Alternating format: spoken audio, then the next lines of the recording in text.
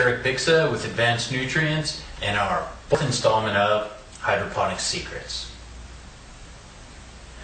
Today I'm going to address a common question, and that is what is the difference between Advanced Nutrients Piranha and Tarantula, as they are both beneficial root inoculants? The difference between the two products is the nature of the beneficial microorganisms they contain.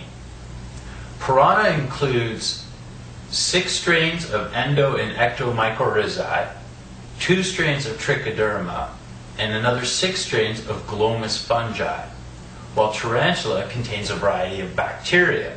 Now, these bacteria include Azotobacter, Pseudomonas, Bacillus, Paenibacillus, and Streptomyces.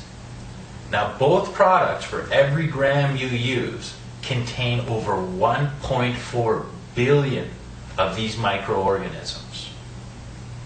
Now, you may ask, what does this all mean? Well, with the image provided in this video, you can see a healthy root system and just how vibrant, white, and fuzzy these roots look.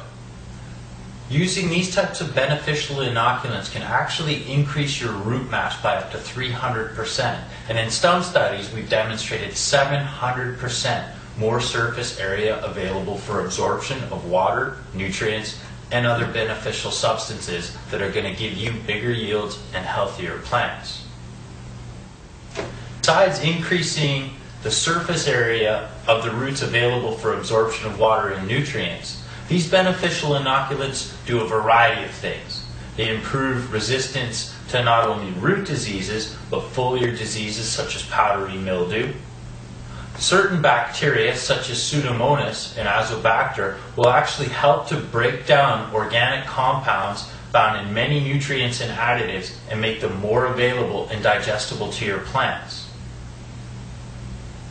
Also, plant roots produce hormones, namely cytokinins. So the greater the mass of roots you have, the more hormones that can be produced to feed the upper portions of the plants. And conversely, auxins produced by the upper growing points of the plants can be transported into the root system. And with a larger root system, there is clearly more room for storage of these vital growth enhancing compounds.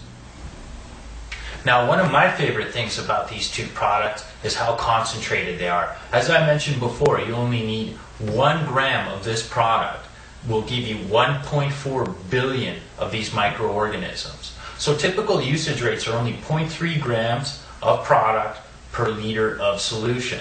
And you only use them for about the first three weeks in the vegetative growth. Now that you can picture what the benefits of adding piranha and tarantula are going to do for your plants, I'd like to invite you to visit the link at the bottom of this video. That's going to direct you to Advanced Nutrients website and entitle you to sign up for the Inner Circle newsletter. Now, this newsletter can be delivered electronically to the email of your choice, and it's going to be full of gardening secrets, tips, and other tricks from myself and other professionals in the industry.